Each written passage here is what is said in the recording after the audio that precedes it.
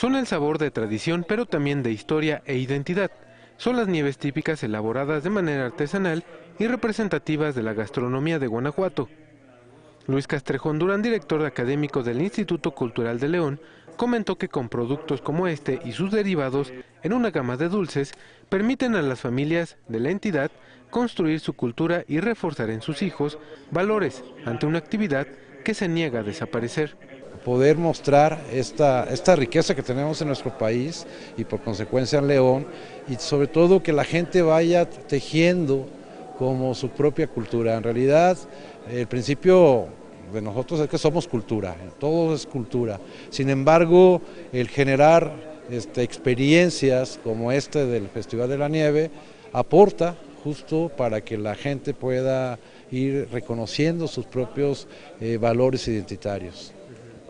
En la sexta edición del Festival de la Nieve, que se llevará a cabo el 17 y 18 de mayo en el Jardín de los Niños Héroes, aquí la gente podrá disfrutar de preparados hechos con cactáceas, otras de sabores exóticos como la flor del desierto, carambolas, frambuesa, maracuyá y una más del tipo medicinal, elaborada con hierbabuena.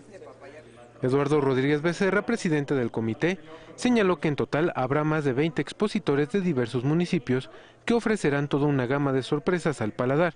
ya que esta actividad ahora incursiona en la cocina al ser parte de diversos platillos gourmet. Digamos, para estos festivales es seguir llevando, digamos, esta difusión, este evento, digamos, con estos productos para que la gente no se olvide de que sigue existiendo el arte de la cultura de la nieve,